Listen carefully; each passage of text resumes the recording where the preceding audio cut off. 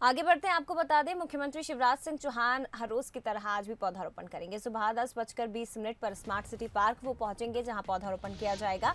इसके साथ ही गारमेंट्स क्षेत्र में प्रस्तावित परियोजना की इकाई का भूमि पूजन होगा।